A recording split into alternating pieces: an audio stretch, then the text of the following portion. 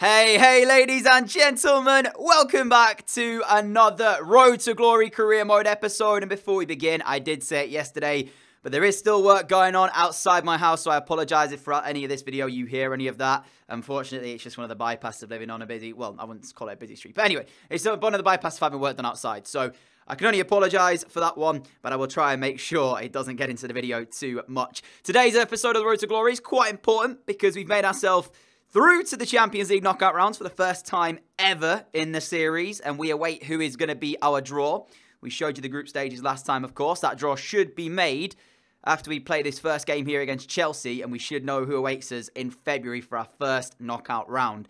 Excited for that, but we've got quite a difficult period of games coming up. We've got Chelsea in this one to begin it, and if you move into January, you can see we've got a Carabao Cup semi-final against Everton coming up. We've got Everton three times in three weeks alongside Man City and Liverpool and then Arsenal. So, like I said, a lot of tough games going into that one. And then finally, obviously, in February, we kickstart the Champions League round of 16 off. So, all that to look forward to. But first up is Chelsea at home. And after this, it's the Champions League draw. And that is the big bit. That's really all I'm waiting for. All I care here, I'm not really that bothered about this result against Chelsea. Well, obviously, I still am bothered, but yeah, you get what I meant. I, I just want to see that draw. I want to see who we have got in our first ever knockout round, see if it's a winnable game or not. In terms of the team here, it looks like it's going to pick it pretty much itself. So without further ado, let's jump into game against Chelsea and get this one out the way. You can see David Luiz over there, captain in the Chelsea team. For us, of course, Chris Sukasev is our captain. And I'm trying to remember to on top of what we did last episode, who we could have actually got. Because although I showed you it, and although I can kind of remember, I know for sure who uh, I didn't want. And uh, there was actually Nice was in there, I remember that for sure. Um, Sporting comes to mind for some bizarre reason. I think they were a team we could pull. Obviously, well, the main one I didn't want to get was Barcelona, not conceded a goal and won every single game in their group stage so far. So that is the main one that we wanted to avoid. And we've done that by grabbing first seed out of our group. So we don't have to worry about a game against Barca, at least until the next round, should we get through the first round itself. So yeah, no no worries with that one on the side of things there. But it's coming from Blundell Park. It is time then for Chelsea and Sukasev as well. Again, he's wearing them gloves. Chris, it's not that cold, pal. And the best defensive team in the league with the best defensive record in the league. Stats speak for themselves.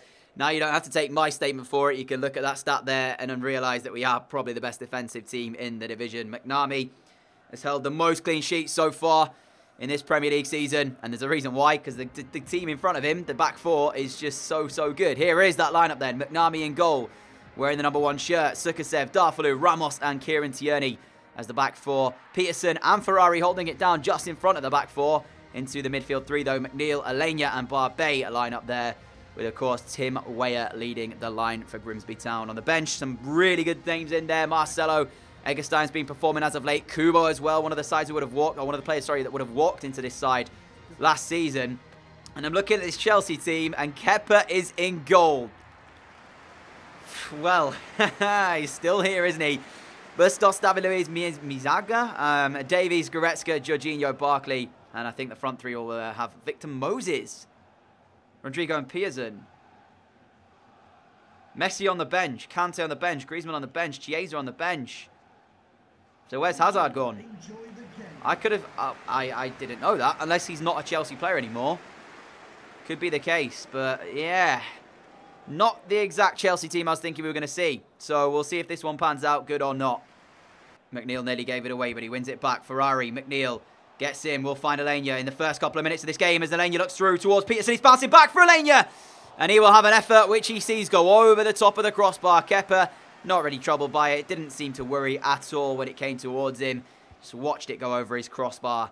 And uh, we had our first shot, just didn't quite catch it right at all. But if it's going to be anybody scoring today, as that's poor from Chelsea, you give the ball away cheaply. Aleñá will pick it up and look out wide to McNeil. And if it's going to be anybody to score, I would put my money on Aleñá after the performances he's been putting in as of recent. Oh, that is poor from Peterson. That pass was supposed to go inside to Weah. And now Chelsea can actually get the chance here. And Victor Moses down under the challenge of Kieran Tierney, who's going to be booked. I mean, is it really a booking?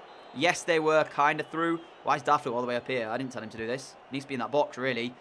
Tim Weah is going to meet the header well, though. But, um, yeah, a bit of a harsh yellow card, really, for Kieran Tierney there. Didn't feel like he made that much of a foul happen, but Moses went down and The referee pointed to the free kick and booked him, and now Chelsea in a bit of possession here. Edge of Grimsby's area, chance to make something happen, and they will, and McNamee will save it. Not great defending from Grimsby. It's not what you've expected from the best defence in the league, and Chelsea will test it with a corner kick, which is headed out, but not dealt with yet. Chelsea throwing. Here is Aleñá. Now Weah, Grimsby not having it all their own way as of right now as Barbet will find the ball in the box. Florentine Barbet with a shot as well, it goes underneath Kepa. And it's 1-0 Grimsby. Barbet finishes, but Kepa will have to answer questions for Chelsea. That is not great goalkeeping from him, and I'm sure he'll tell you that himself as he comes out here. I mean, there's not a lot he can do, when we're in this position here, Florentine Barbet has so much time to think about what he's doing with this ball. Gets it on the left and decides to drive the shot. The outstretched left leg of Kepa, it hits him and goes underneath him in towards that back of the net. And it's Grimsby who have the lead. And as I was saying just before that, it's not been all our way.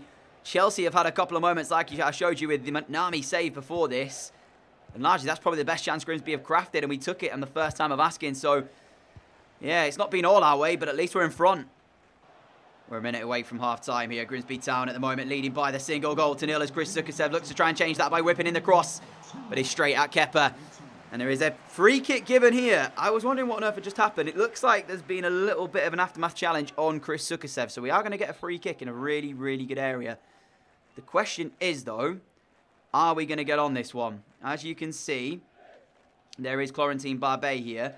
Let's just put it into that danger area and see if we can get on it. Barbet's header! Oh, he should have scored! He should have scored! It should have been Grimsby 2 in front. Florentine Barbet from the near post. I sincerely hope I'm getting his name right, by the way, because if not, you guys are going to rinse me in the comment section. Near post header, over the top of the crossbar, and a big chance for Grimsby goes away. It remains 1-0 at the break, but, well, you know what? It could have been better for Grimsby. First half, fairly even. Grimsby come out on top, though. What did Chelsea do to change this in the second half, then? Did they call upon their substitutes? Chiesa, you know, they've got him on the bench. They've got Griezmann on the bench. Messi on the bench as well. Are we going to see Lionel Messi on the field against Grimsby Town? That would be something, wouldn't it? Um, I will say this, though.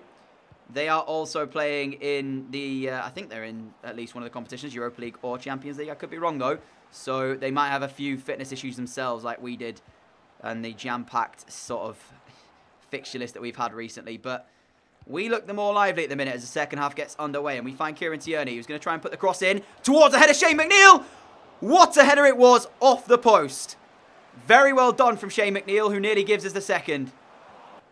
Leon Goretzka, look at the space now, opening up for Chelsea. Peterson chasing to try and get back. Now Chiesa's come off the bench to try and make it happen for Chelsea. Ball in, and there is the equalising goal. Seven minutes from time. Grimsby won, Chelsea won.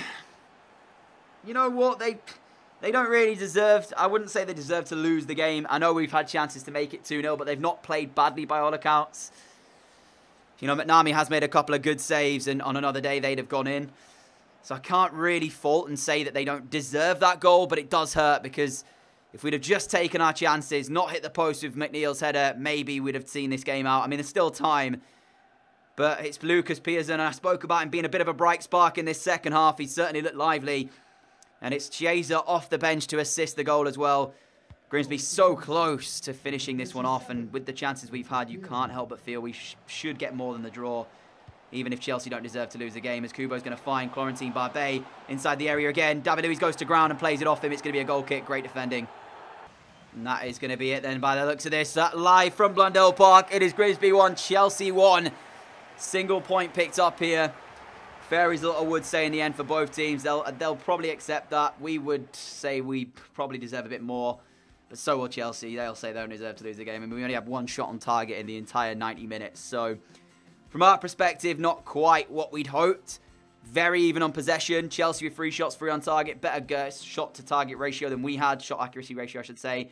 Um, so yeah, a 1-1 draw is probably a fair result there. I'll take that. And now, of course, we await the draw for the Champions League, which is the big part of today's episode. We've still got a long way to go in the Premier League, so I'm not even counting anything at this stage. We could be third, fourth, fifth, sixth, top, and I still wouldn't even say we're going to win the league or not because there's so, so long to go. And the draw has been made. I didn't get to look at it because I didn't want to spoil it for myself either, so I'm going to see it at the same time as you. The only reason I know it's been made is because the Europa League draw has just popped up on my screen, so I know that that one has been done. Therefore, I'm assuming the Champions League one is also there as well. Let's take a look then who awaits us. So there is the Europa League draw. Maybe we'll check that out first and see if Chelsea are in fact in there because that could be a reason why maybe they didn't start their best players if they just had a recent game. So the Europa League draw, which we are not in, Sevilla has been drawn. And uh, it doesn't look like Chelsea are in there. In fact, there's another page. Yeah, so Everton in there, Liverpool in there. Chelsea are in there against Betis. And that's quite funny, actually, because a lot of their players go on loan to Betis in that one.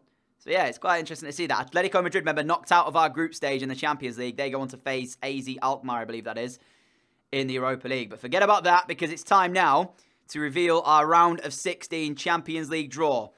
I said I wanted to avoid Napoli, I can remember. I said I wanted to avoid, was it PSG were in there as well, I think. Um, so I think they were the ones mainly, and possibly was it AC or Inter? One of those Milan clubs, I think, were in there. So let's see who awaits us then as we draw for the round of 16 Champions League. Our name will be pulled out of this right here. There it is. Grimsby Town on the end of a Champions League card. How about that, ladies and gentlemen? As the draw is made, and we've got Nice. And we travel to France first. Dortmund will take on Inter. Monaco will play Barcelona. That's going to be an incredibly tough tie for Monaco. Sporting, Bayern, Red Bull Leipzig and Milan will face off against each other. So the uh, the team that finished second in our group get a Milan team. Real Madrid, Manchester United. In fact, I think we could have actually got Real Madrid as well. I'm pretty sure they finished second in their group too. PSG have got Juventus. What a tie that is. Real Madrid, Man United and PSG Juventus uh, is an incredible one. In fact, so is Napoli and Spurs, ladies and gentlemen. A lot of incredible ties there. We've pulled Nice. So out of the ones I said I wanted, I think I said I wanted Monaco, Sporting, or Nice, didn't I? and we got one of those three. So, favourable draw, but it's still not an easy one, and I'm looking forward to that. That's going to be played in February, the first leg, and we travel to France for it. We'll see how we play. I don't know what Liverpool are allowing Mane to have in his Weetabix in the morning, but take a look at that. 15 goals in 16 Premier League games for Sadio Mane, which is a tremendous return. Wow. Um, but we've got a game against Palace now, away at Selhurst Park. Difficult place to go this, but I think if we play our football the way we can, we'll get the result. I mean, the 1 1 draw against Chelsea, fair result for that one. I'm expecting the three points here against uh, Crystal Palace, but we'll see if that plays out as we jump into this one. And now we know our Champions League draw, we can relax a little bit as well. We don't have to, to fear it or anything like that. We can prepare ourselves for that Nice game. Here is Ferrari. Now Weah. Tim Weah's got one on the other side there towards Chris Sukasev. McNeil is still up here too, but he goes instead towards Weah, who's not going to quite reach it ever so close for Tim Weah for him to just chip it over Guaita, who'd already committed himself to coming out for that. Player to watch as well has gone to Corentin Barbet for Grimsby Town. Not surprising with what he's been doing recently. Player of the month as well, remember that. And he got the goal last game against Chelsea as Kieran Tierney towards the penalty area. Still Tierney unable to convert with a cross, but we do get a corner. And it is swung in towards the head of Sukasev! And what a save by Guaita! straight in towards Sukasev, right where you want it. Ferrari's delivery. And uh, it is the save from the Palace goalkeeper that keeps them in the game. The delivery there again towards Sukasev again. This time, though, the header doesn't go anywhere near where we needed it to go for it to really test. Okay, we got to the half, and I think then it is probably time we start thinking about those changes. So Kubo is only the one I'm going to make right now. Aleñá coming off, not for any reason other than I want the Kubo in there to try and make something happen. We know Takefusa's quality. He's good at dribbling. He's, he's got the ability to, to cause Palace a few problems, whereas Aleñá's a better passer of the ball, I would say. Obviously, Kubo can keep hold of it when dribbling better, so maybe a couple of mazy runs from Kubo might break this back line. Tell you what, since Kubo's come on for Aleñá, he's certainly making a difference. He's causing Palace problems. They've got to think about him whenever he's inside the box and such as McNeil does brilliantly. Shane McNeil drives it across. Barbet with a rebound. It's a free tap in for Corentin Barbet. He scores for his second consecutive game. Grimsby take the lead at Selhurst Park. It is not great defending from Palace. Not what they want to see again. As it's just a hopeful ball really in from that right hand side from Shane McNeil as he bursts down into the byline. Deflected off the defender, then off the goalkeeper into the path of the unmarked Barbet, who simply put could not miss this chance. I mean, he hit it into the side netting somehow, even though he had all the game, uh, all the goal to um, to aim at. And uh, at least he's finished it, and we do finally get that breakthrough. I want to commend though Takefusa Kubo because since he's come on, that change has worked wonders. Adding that ability to dribble at Palace and cause them problems has not allowed them to settle into this second half whatsoever. But now they find a good shot up the other end. It's blocked on the way through, and it will be McNamee's. Here is Rodrigo de Paul now for Palace looking to find an equaliser, which would be pretty much one of their only chances this game if they can get it. And it's good work from Robinson and De Paul, but it's put in towards the middle. It's an easy defensive header out from Peterson as Kubo will find now the pass out wide to Barbet. Flicks it onto Weah. Barbet continues his run as Tim Weah tries to put a bit of trickery on that one and somehow Barbet makes it work. He's in again for number two here, Clementine Barbet! It's 2-0 Grimsby! And it's that man again on your screen who's got the goal. Should do it now, should see us through. And what an episode he is having. Player of the month for a reason. I said he wasn't really standing out. How, how deep is that stand, by the way? I could see all the way up to the top end and there were still people bouncing up and down about the goal. But Barbet, yet again here, showing the quality. Cheap fee paid to bring him over from Germany into the Premier League. I, we believe he is Franck Ribery's regen. And that is his fourth Premier League goal of this campaign. Come on! McNeil, Peterson. Now Guendouzi, Guendouzi through to Weah, Weah. Fresh legs of Matteo Guendouzi might pay dividends here. Edge of the area, Guendouzi will shoot!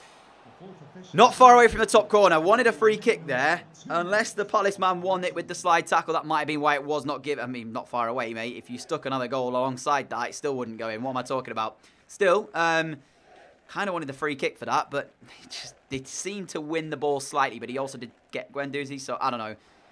Still, we look like we're going to win the game here, and that is enough for me. Fair play, Barbet. Got us both goals. Wins us the game, gets us the three points. Back to winning ways, even though we drew against Chelsea earlier on. Feels good. So with Fulham up next, I've decided that I will not play this one. I'm going to be going ahead and seeing if we can beat them through the sim. We're seven points clear of uh, Liverpool in second place. So we have a little bit of point gap to play with should we want to do these. And we've still got a strong team, one that should, in theory, get the result here. But we don't know exactly what the Fulham side is like. I mean, he's done it again, ladies and gentlemen. He's done it again. Barbet scores again for his fifth of the season to give us the lead inside 13 minutes. I'm looking at the bottom right as well to see if Liverpool are playing. United are winning 1-0 against Newcastle. Aleñá doubles our lead, which means we will go hopefully to 90 minutes with a win. Kubo picks up an injury as well, though that's not great. He came on and now four straight back off as well. Guendouzi makes it three, as he's also off the bench to score. United seem to have won. Chelsea winning as well. Arsenal winning as well. But we've got a 3-0 win against Fulham. The question is, though, what is the injury going to be to Kubo? How long is he going to be out for? I don't want it to be a long-term one. He's going to be out for four weeks with a sprained ankle. It's not as bad as it could have been. So I'll count my blessings there and we'll continue forward. All right, so turns out Spurs are now in second. They've overjumped Liverpool and Man United have also gone to third as well. Liverpool down in fourth, so they clearly didn't get a great result last time out. We are nine points clear of Spurs, who we now face in this one, just ahead of the January transfer window opening up. Got Bradford in the FA Cup, I think is the draw we've been given there too. So winnable game there, so we should be able to get through that one. For this one, though, we've got another available player. Of course, it is, unfortunately, Kubo, who is out now for like four or so weeks, but it's fine. We've got Cox that we can put onto the bench instead. And uh, I actually think we've got a good team coming along. I mean, look at these. We've got three 85s now in our starting 11. McNamee, Ferrari, and Tierney. And slowly getting up there is Tim Weah on 83. Just Ramos, and then we would have an 80 rated player in every single position. But you could argue that Sergio Ramos, his experience quite, uh, counts as enough anyway. He is 36 now, but he's still playing literally every game for us, and he's improving. Well, say improving, but he's he's he's certainly still relevant and still important to our team, even at 36. You know, it's not like he's lost anything at all. Still, though, very happy with the team and the way it's progressing. Now we face off Spurs away at Wembley, as this one goes into seeing if Spurs can count us. Well, catch us up. Sorry. They need to, because then that'll put them six points behind. In fact, no, we're, we're, we're at New White Lane. We're playing over at their ground by the looks of this. Um, or if they lose it, we'll go 12 points ahead of them. And potentially, who knows how Man United and Liverpool will finish because we could even go even further ahead of them too as well. But we'll just count it as it goes, game by game, and see what uh, see what waits us in this game. And Spurs' lineup is Hugo Lloris in goal. He's side, De Ligt, Rekik, and Tagliafico as a back four. Kovacic, Wanyama. And it seems like they're playing the same formation as, as well as Lucas Moura, Dele Alli, and Heung-Min Son with, of course, actually, it's not even Harry Kane, it's Timo Werner up front, but Werner is, of course, a good striker in this position now as well. Kane on the bench for Spurs. It's a difficult one, that. Who would you guys be starting, Kane or Werner? Because at this point, Kane's like 90 rated, 91, 92 maybe, and Werner's up there at like 88, 89 too. So it's, it's about who would you start, and I think they've gone with pace rather than Harry Kane. maybe to take advantage of the fact that we've got an aging Ramos, but I still think we've got enough as the back line to uh, to keep Werner quiet today. Whether or not that pays off, we'll, we'll, we'll either be embarrassed after saying that or not. We are underway, and so far the results have kind of gone our way so far. We've got Chelsea 1-1 draw, happy with that. Into the win against Palace, into the win against Fulham. So much so that you could argue a defeat wouldn't actually be that bad for us here. But of course, we'll still look to try and win the game, as that is what we do going into every single game we play. But Spurs looking on the front foot inside the first couple of minutes. The ball in from Alli is straight out of play, and we will get a goal kick. Chris Sukasev wins the header. We find McNeil, who finds Aleñá, who finds Ferrari. Balbe on the left-hand side. Has he impressed you so far in today's episode? And is he going to do it again? Not quite with that touch, as he side puts it in a touch with relative ease there. And it's looking okay so far for Grimsby, who've not been in this position yet. This is the first time we've been able to, to get out of our half, really, and, and make something happen. Are we going to be able to do that, though, is the question. Ferrari finding the ball at his feet. Now towards Barbet. Tierney giving the overlapping run. Florentin Barbe looks for him. He goes all the way through for Kieran Tierney to strike it instead. And he's at the post. That could have been the 1-0 that Grimsby were looking for. Kieran Tierney so, so close to giving us the lead. We are approaching half-time. And other than the Kieran Tierney chance, there's not a lot to show you. Spurs nil, Grimsby nil at half-time. Like I said, Kieran Tierney having the best chance of the half. First 20 minutes, Spurs dominated, but we grew into the game and we got in it in the uh, in the last portion of that half. I'm hoping that we'll continue that way in the second. United 1-1 with Chelsea at the moment, so they're dropping points. Liverpool don't look like they're playing, so we don't know if they're winning in that other game. Maybe they played before, or uh, maybe they play the day after. I don't know, but at least we can see Man United, and they're currently drawing. So this result here will keep it as it is at the top of the table. And let's just put it this way. I don't even think Werner's done really anything in this game. So I'm expecting potentially to see Harry Kane coming on in the near future. As I say this, I sincerely hope he does not go on to score. As soon as I said he hasn't done anything. Dele Alli trying to flick it up and make something spectacular happen. It's going to take a lot more than that to beat uh, McNamee. As Kieran Tierney will carry forward and find Barbe. Now Weah. Poor first touch from Tim Weah, but he's lucky to still have the ball. Kieran Tierney will get it back under control as well for Grimsby Town as he now drives at Spurs. Still going Kieran Tierney. And onto the left foot. No, couldn't get the shot away. You saw what he was intending to do though. Kieran Tierney drove a long way, just couldn't shoot. Hold on a second, because Aleñá sees the run of Shane McNeil, who is in behind and gets the shot away, but he can't finish. Tagliafico put him off ever so slightly by getting back on the right side. And Lloris didn't commit himself by coming out. I was going to chip it over him, but he didn't come out, so I had to take the shot on, and I second guessed it. And Harry Winks comes on for Wanyama, as there's still about 28 or so minutes to go here, and no changes yet for Grimsby, but I could make one or two, actually. Try and change the dynamic. Harry Kane still yet to make his way onto the field of play when it's still Werner out there. And here comes Harry Kane, just like I said. Werner off, Kane on. And is that the change that's going to install some attacking intent in Spurs? McNeil stays on his feet, and the free kick is given by the referee, even though we still had the ball and he could have played advantage. think we're going to make a couple of changes here with 12 minutes to go and see if we can find this winning goal. On the inside towards Janssen, finds Ferrari. Ferrari gets the ball under control, got Barbe in front of him, and still Ferrari He's kept it very well here, but he can't find a pass yet. Peterson will find it through to Eggestein, and that could have been the moment. Lloris makes himself very, very big and stops us scoring the goal that could well have been the winner, as Eggestein would have loved to have come off the bench and got it. Free kick given against Ferrari for not a lot there, really, referee, but he's given it nonetheless. We have to respect that decision. Four or so minutes left, and Spurs searching for a goal, and they will get it. No! I think it's Harry Kane as well. What was I saying? I can't believe it. Outrageous. Oh. We don't deserve that. We do not deserve that. Spurs have not been good enough to get that goal and they've got it. Whereas I felt earlier on that the 1-1 was fair with Chelsea, this one hurts. Harry Kane has rose in the box. And he's got his header on target. It's Chris Sukasev against him. McNamee can't get near it, in off the post. And just as Eggestein has a big chance to give us the win, we may have just lost the game through one moment of it. And I tell you what, like I said, don't feel that Spurs deserve it as Cox going to carry it and look towards Eggestein again inside the penalty area. Max, uh, sorry, Johannes Eggestein tries to drive it across and it's not going to be there. And that should do it then. Spurs clear their lines.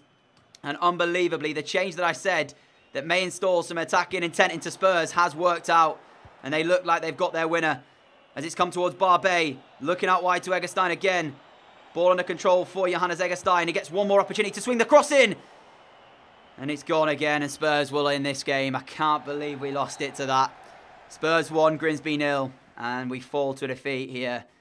And like I said, not a lot happening in the game. You can see not a great game by all accounts. No team deserved to lose it, but we specifically didn't either. It hurts. And we have been drawn at home as well for the game against Bradford, so it will most likely be a sim next time out. But for now, guys, that is going to be the end of today's Road to Glory episode.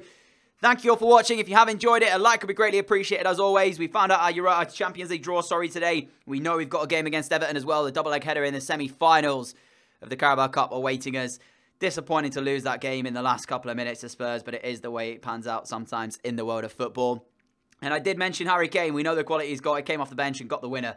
As you can see, the league table then six points ahead of Spurs, who win that game and claw back the gap. United down there as well, nine points behind. Liverpool just behind them with 10 away from us as we approach the halfway stage of the Premier League then. 19 games in, 14 wins, 2 defeats, 3 draws. We've got a couple of cup games coming up now, so maybe a little bit of a break away from Premier League action for now. But I'll see you all for that in the next episode. If you're on around here like we see, hit that subscribe button, hit notification bell as well to be notified whenever new videos go live. And I will see you all again very soon with the next episode of this career mode. Make sure you are ready for it. Semi-final of the Carabao Cup in the next episode. Looking forward to it, guys. UEFA Team of the Year, just before we go, midfielder shortlist. Have a look at who has just been shortlisted for that. Can you believe it, ladies and gentlemen? Takefusa Kubo may make it into the team of the year.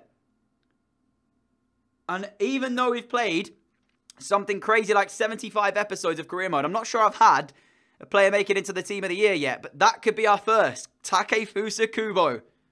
They're predicting that it'll be him, Ceballos, Mbappe, and Neymar to get in this. We'll wait and see for the next episode. How about that? Until then, though, guys, see you all again soon. Adios.